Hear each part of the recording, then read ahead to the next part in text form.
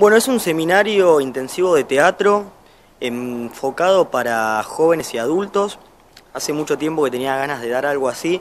Yo vengo dando las clases ahí en, el teatro, en un club, eh, para niños y adolescentes. Y bueno, tenía ganas de, como bueno, de probar y de dar para adultos.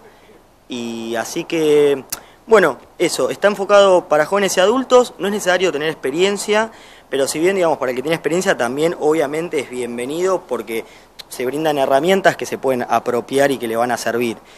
Yo lo pienso, el, digamos, está pensado el seminario desde la parte en que, desde el juego y la creatividad, que a medida que uno va creciendo, esto se empieza como a truncar, digamos, como que la sociedad también empieza como, hay algo ahí como un mecanismo de represión propio, propio de la sociedad, que uno no por ahí no se va dando, dando cuenta y va perdiendo esta cosa de, jugar, de, tener la creatividad a flor de piel, que se ve comúnmente en un niño, digamos. En el niño él juega con cualquier cosa, juega sin problemas eh, y crea mundos sin inhibirse continuamente.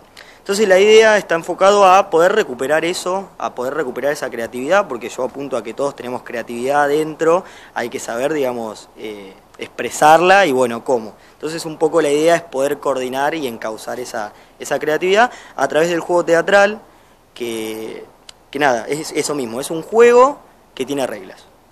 Digamos, son técnicas y juegos que permiten a uno expresarse entre otras cosas, digamos, expresarse, la coordinación grupal, estar, eh, digamos, la coordinación, estar atentos, digamos, estar en el aquí ahora, que es un poco también a, lo que apunta el taller, digamos, es un seminario, son tres horas, hay que estar presente porque va a ser realmente intensivo. Bien, por suerte quedan los últimos cupos, hubo mucha gente que preguntó y que se anotaron y que confirmaron, pero bueno, la cita es sábado 10 de agosto de 17 a 20 horas en Club Teatro 1355.